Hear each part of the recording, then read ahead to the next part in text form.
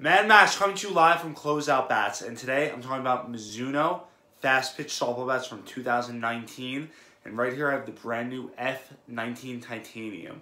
This bat is going to be our first Mizuno bat that we've carried in years, so we're very excited about this here at Closeout Bats. And right here, like I said, we're going to have the F19, so it's going to stand for the 2019 Mizuno Fast Pitch Bats, the Titanium, minus 10.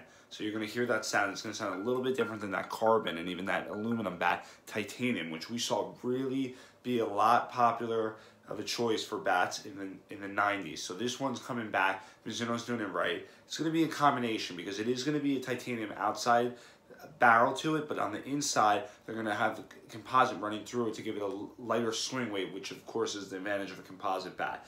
You're going to still get that nice sweet spot, which you get with a composite bat, even though it's titanium, you're going to get that.